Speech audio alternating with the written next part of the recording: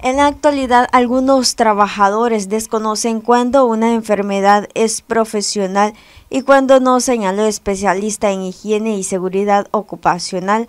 Bueno, hay que quedar claro con esto en la definición de las enfermedades profesionales porque muchos trabajadores están confundidos qué es una enfermedad profesional.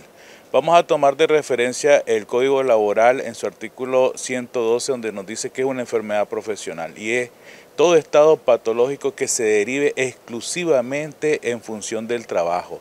Entonces, eh, para declarar una enfermedad profesional hay un procedimiento el cual se tiene que cumplir muy bien, desde eh, la consulta médica, los exámenes médicos, el especialista y después la declaración del especialista para que la seguridad social te declare la enfermedad profesional. Ahora, esto eh, tiene que manejarse con evidencia, no se puede solo, eh, fui a una cita, después no fui a la otra, me las perdí y esto es lo que genera la confusión con los trabajadores de la declaración.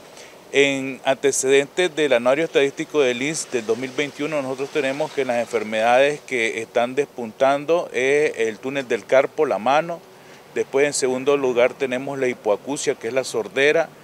También tenemos la insuficiencia renal crónica y eh, tendinitis y de último lugar tenemos la lumbalgia. Agrego que el túnel del carpo y la hipoacusia ocupan los primeros lugares de dichas enfermedades.